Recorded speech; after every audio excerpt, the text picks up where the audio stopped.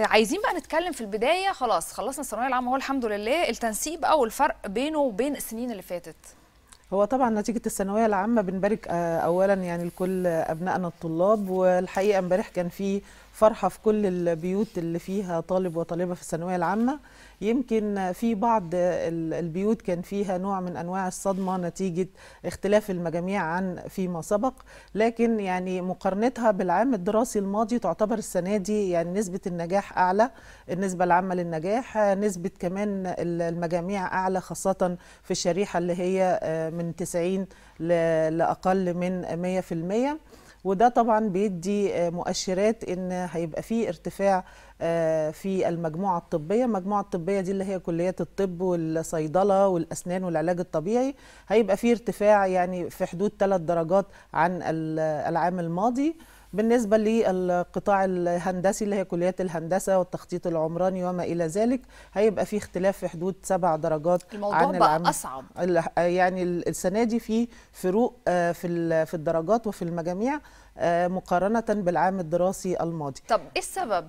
مع إن مع إن في نظام يعني أنا فاكرة حضرتك برضه ما كنت بتجيلنا ونقعد نتكلم على أولياء الأمور والطلبة اللي عندهم مشكلة مع نظام البابل شيت والتابلت وحاجات جديدة عليهم ويعني وكانوا قلقانين ومتوترين كده. فده المفروض يخلي إنه الدرجات تكون أقل بس هي عليت. فإيه السبب اللي خلى كده؟ الأولاد طبعا اتمرنوا بصورة أكبر على مستوى الامتحانات وطريقة الامتحانات. السنة اللي فاتت كانوا دول أول يعني دفعة بيطبق عليهم نظام البابل شيت. آه، يمكن كان الموضوع بالنسبة لهم يعني في صعوبة شوية. آه، يعني أبنائنا الطلاب بتوع السنة دي لا اتعودوا بصورة أكبر اتمرنوا بصورة أكبر. كان في آه، نماذج استرشادية كان في بنك المعرفة قدروا إن هم يعرفوا شكل الأسئلة إزاي شكل الامتحانات إزاي. ما كانتش مفاجأة ليهم زي طلبة السنة اللي فاتت. ممكن تكون طبيعة أسئلة الامتحانات الت- التدريب عليها. يعني اختلف شوية ال- الفروق الفردية ما بين الطلاب والمجاميع آه، هذا العام عن العام الدراسي الماضي أعتقد كمان المدرسين كمان اتعودوا على. على النظام ال... ال... الامتحانات والجديد لو التعليم الجديد ده يعني بقى بالنسبة لهم أسهل إن هم السنة دي يشرحوا للطلبة أو ي... يعني يوضحوا لهم نماذج الامتحانات وطريقة الأسئلة. أكيد طبعا والتدريب أيضا على مسألة ال- الأسئلة من بنك الأسئلة. يعني الطالب بصفة عامة السنة دي يعني كان عنده فرصة أفضل من طالب السنة اللي فاتت إن هو يقدر يشوف شكل الامتحانات نوعية الأسئلة آه، إن هو يختبر نفسه في آه، هذا الأمر. فده كان يعني ممكن يكون فرق شوية في آه، المجاميع في طلاب العلمي علوم والعلم رياضة.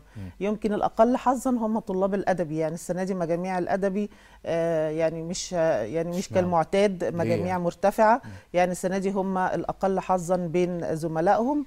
وأعتقد إن ده هيفرق معاهم كمان في تنسيق الكليات الكليات الأدبية آه، أو اللي بتعتمد على ال- الدراسات النظرية هتنخفض عن السنوات الماضية بنسبة كبيرة نظرا لانخفاض المجاميع. يعني اشمعنى السنة دي ال- الادبي يعني أنا أعتقد إن إحنا مش عارف يمكن طول أنا بجيب يعني مش بجيب معلومة مؤكدة أنا بقول يعني من من خلال يعني اللي أنا شفته يعني إنه دايما الأدبي الدرجات بتاعتهم بتبقى أقل من من العلمي يعني.